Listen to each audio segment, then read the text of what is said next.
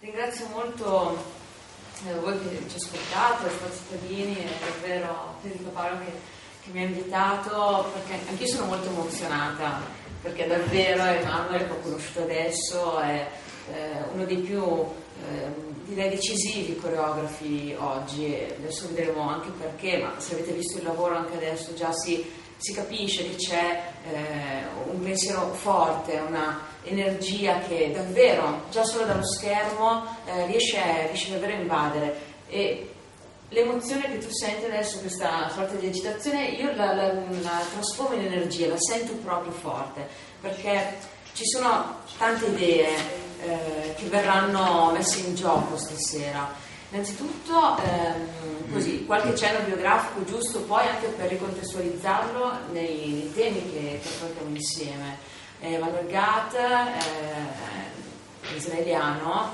eh, però i genitori sono di origini marocchine, è vero? Quindi già questo è un dato che viene poco sottolineato e vedremo che è importante eh, Tel Aviv, fonda Tel Aviv la sua compagnia, però poi per ragioni lavorative, anche personali, si sposta in Francia, in Provenza, dove dirige una Maison de la Danse. E qua già una questione magari di potere interessante, perché le Maison de la Danse sono delle istituzioni create eh, su iniziativa del governo francese in diverse città della Francia, preposte proprio alla sperimentazione, allo studio della danza, strutture che in Italia non esistono motivo per cui si creano questi spazi qua, privati, eccetera. Quindi eh, questo è il quadro. Eh, dal 2004 sulla scena internazionale eh, tantissimo, adesso crea per tutti i festival più importanti, compagnie più importanti, tra poco vedrò Ballet de Marseille in, in un nuovo lavoro di Emanuele Gatto, non vedo l'ora, eh, Bessie Award, insomma parliamo veramente di un top choreographer oggi, anzi choreographer non lo usa, eh, perché Manuel preferisce parlare di dance maker, giusto? Anche prima parlavamo, eh sì, dance maker, dance maker. Eh, perché, secondo me, poi vediamo, eh, si, si, tratta proprio di to make, di fare.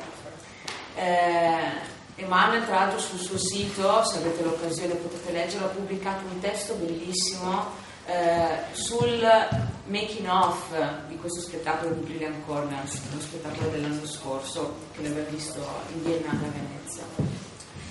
Eh, in questo testo lui spiega un po' di, cose, spiega che cosa significa per lui fare la danza, non si tratta di creazione, cioè non è quello, per lui eh, coreografare, per te coreografare è, eh, tu parli di eh, discovering and covering, cosa vuol dire? Eh, che eh, si danza, si, si, si muove, ha i suoi danzatori, una compagnia fantastica, tutti provenienti da formazioni diverse, da stili diversi, che si amalgamano benissimo, proprio un dialogo già tra corpi immediato. Eh, si sperimenta, si danno delle regole, dei limiti, dei task, come si dice, e ehm, Emanuel, quindi il dance maker, osserva, osserva questi dati che emergono, parla proprio di data, che emergono dal, dal movimento, dal, dall'interazione, dalla relazione tra corpi, tra energie, eh, tra persone anche, persone, soprattutto in sala prove, capisce l'emotività, le esperienze personali, tutto quanto. Eh, da questi dati che emergono, eh, lì si crea una struttura, ok? Quindi questo è proprio la dimostrazione, e in questo risiede, credo, la grande contemporaneità di Emanuele.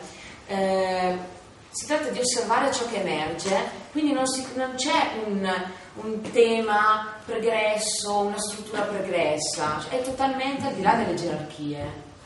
Questa è la cosa più importante secondo me e in questo senso si potrebbe dialogare anche sul concetto di potere rispetto al fare la, la danza. Eh, parla, dice delle cose bellissime. Io sono una grandissima fan, l'avrete capito subito. Eh, lui parla di dance maker come osservatore, proprio per questo, cioè il movimento succede, lui osserva e vede cosa ne può fare. Lui dice: Io quello che posso fare è creare un environment, creare un ambiente, creare questo ambiente in cui inserire la coreografia, in cui quella struttura va a inserirsi Immaginate l'ambiente non è fatto solo della danza, comunque, è fatto dei suoni, è fatto delle luci, è fatto dei costumi, è fatto dei corpi, delle persone, di tutto quanto. E questa la trovo già una grande differenza rispetto eh, a una coreografia a cui siamo stati abituati in questo senso. La seconda cosa, quindi, coreografo, dance maker, osservatore, è già un atto di generosità in sé.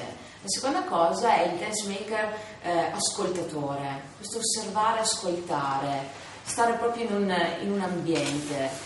Eh, cerco di farla breve, ascoltare i corpi, ascoltare ciò che succede, ma questo parla anche del tipo di relazione ha con la musica Emanuel. Viene da studi musicali, c'è scritto dappertutto, non, non, non, non l'ho scoperto io, non me l'ha detto lui, da compositore, del direttore d'orchestra, eccetera. Quindi un rapporto anche che poteva presentarsi in maniera gerarchica con la musica, con la danza, invece no, lui stabilisce proprio un rapporto eh, totalmente eh, libero con la danza, come due strade parallele, no? Quindi cosa sono le due strade parallele? Staccate, diverse l'una dall'altra, ma che insieme vanno. Eh, quindi è veramente un rapporto di libertà, ha fatto anche un, una coreografia, si intitola Silent Ballet, dove non c'è musica, però c'è, c'è il suono dei corpi, il suono della danza, quindi davvero un rapporto bello con il libro, con la musica, osservatore, ascoltatore, creatore di ambienti, eh, insomma, questo già dice tanto della grandezza eh, di Emanuel Gatt sulla scena contemporanea, ma questo cosa serve? Serve eh, soprattutto credo a ehm, così, circoscrivere un discorso.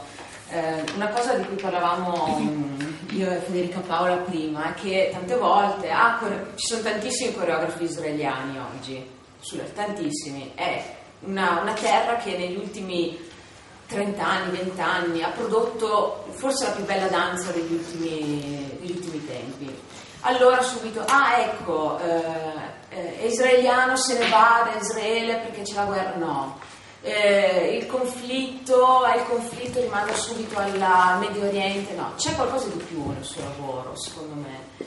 Eh, perché è un grande pensatore contemporaneo Manuel Gatti? Perché riesce a fare della questione del conflitto non una questione locale, ma una questione davvero su cui tutti possono riflettere. È per quello che ho sottolineato il fatto che sì, è di Israele, ma eh, ha origini marocchine, però sta in Francia, però coreografa per eh, eh, l'Opera di Paris, però è stato al festival al Lincoln Center a New York, però oggi è qua, non è locale, non parliamo, smettiamo di pensare locale e accogliamo chi ci aiuta a comprendere grandi tematiche come quelle del conflitto davvero eh, nel modo più, più aperto ed efficace. Questa cosa del ehm, cercare l'emersione del movimento, del, della danza, osservare i dati, è osservare i meccanismi del, del, conflitto, è osservare come le cose si producono. Questo fa, prima ho detto non avrei usato questa parola per non azzardare, però veramente parliamo di filosofia qua, parliamo di, un grande pensatore. Eh, chissà eh, pensare i meccanismi che scatenano grandi cambiamenti conflitto nel bene e nel male è sempre sintomo di un grande cambiamento. Lo si vede nell'interazione tra corpi, nella relazione tra danzatori, nella relazione con le, con le luci, eh, nello spazio creato dalla luce, l'entrare e uscire, è tutta relazione, è tutta analisi di come eh, gli human beings, di come le persone eh, possono ottenere una relazione il più possibile franca, il più possibile sincera. Ecco, quindi secondo me ho fatto un riassuntone cercando di dare un po' delle chiavi per um, capire secondo me come mai eh, è importante essere qui oggi perché davvero perché siamo emozionati ad averlo, averlo qua. Spero sia stato chiaro. Okay. Grazie, grazie.